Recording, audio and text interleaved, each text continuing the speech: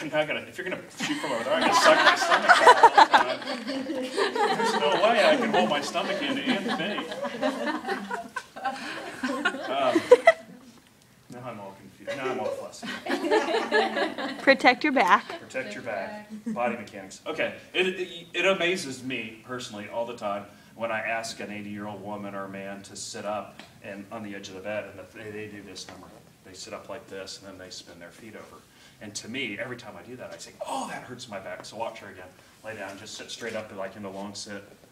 See how much work she has to do mm-hmm. through her abdominals and her hips, and then, why do I have back pain? Well, I know one of the reasons. There's probably lots of reasons. So go ahead and lay down. We like to teach our people to go through sideline to get to sit ninety-nine percent of the time. There are exceptions. Some of our hip replacement people can't roll. Some of our spinal cord injured patients aren't, that's not gonna be their most effective way to get up. But most of the time, we would prefer you log roll, and so we tell people, we want our spine in a, s- be in a line, we want it to stay in a line. So how am I best gonna do that? I'm gonna pick up, bend the opposite knee up, so I'm gonna ask you to bend your opposite knee up. I'm gonna ask you to reach with this hand towards it here, while you push with that leg to roll to your side. So you're gonna reach and roll, and now you're gonna kick your feet off. Now you're gonna push your elbow with your elbow and your hand to sit up. So we've gotten her up without twisting her back, without rotating her back. So especially for our back pain patients and all those, I tell people, this is how everybody should get up. It's just not how everybody gets up. Same thing for going back down, I would prefer them to go through sideline. So I tell them, put a hand down, and lower yourself down, put your shoulder on the ground, and put your feet up, roll yourself back over. So if they go into that kind of, we learn hook line and half hook line, right? So here's, here's hook line. Um, we were in long sit, and we were over here with the legs off the edge, we're in short sitting. Okay, so we come back down, come back down. Um, To get her to roll to her side, I can either ask her to go into hook line or to just bring one leg up, and I would call that half hook line, even though I think I just made that up. Um, And if you push with that foot, you don't rotate as much. So I'll put that on my list with Lita's, the one I made up for Lita last week. What was that? The petticoat junction. Junction, yeah. Oh, yeah. I made that one up too, so I'm gonna start anew. I made up therapize too, I tell people I therapize all the time. All right, so hook line to get up. Most of the time, we want them to push and reach. The reason that's important to reach, how many times can you go lay up and sit up and lay down? Um, Is that especially when I start getting weak on one side, this arm gets weak and this arm can't reach and push, and people won't be able to roll themselves over. And it's usually because this arm is over here and they're not paying attention to it. So if they're a stroke, sometimes they have to teach them to reach and grab their arm and bring it up here and push with this leg and reach with both arms. Sometimes I just have to remind them, you know what, that opposite arm has to be over here or you're not gonna get up. And it does make a difference. If you were to try to just roll over like that, as opposed to going ahead and just bringing your arm across your body. Then bring your arm across your body. Now roll, push with your leg, and you come right over.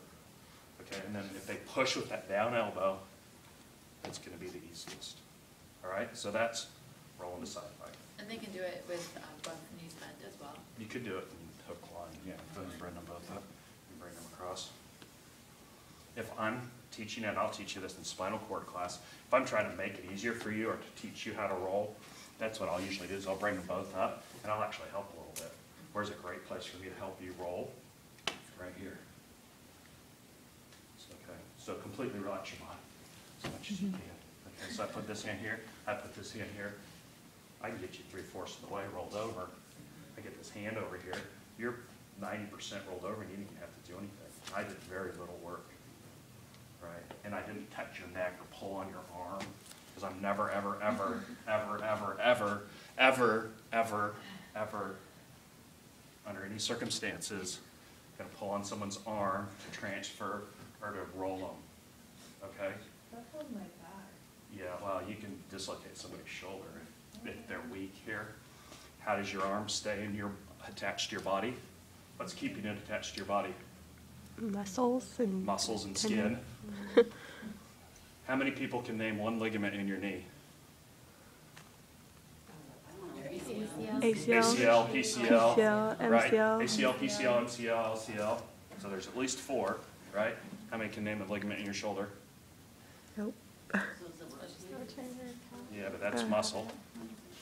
That's why they said to stop swinging like little kids from mhm. there. Yeah, that's my mom's like, don't ever pick a kid up, I don't know, you can just go. okay, so my knee, great stability, lots of ligaments. I got two motions, right? For, for our consideration right now, I have two motions, extension, extension and flexion. How many motions do I have on my shoulder? Well, we, we count Like four, six. five, six of them, right? You add in scapular rotation, you've got even more. So you're giving up stability to gain mobility, which means now when my muscles are paralyzed, my arm just hangs there. You'll actually see people where you can put one and two and three fingers between the head of their humerus and the bottom of their, their uh, clavicle here, their AC joint. stays like From, it's just separated, just from the weight of your arm. Your arm weighs ten pounds or so. Mine probably only weighs three, but, you know, if you were big and burly like Renee, it'd probably be like twelve pounds. Um, Just the weight of your arm will start to dislocate your shoulder. So if I roll in here and grab a hold of it and go like this, there's nothing holding that thing together but paralyzed muscles, I can actually dislocate your shoulder. So I've never, ever, ever, ever Right, and like I said, you know, I got her most of the way rolled over here without even touching her, so now I'm gonna grab the shoulder blade to help her finish rolling over if she can't help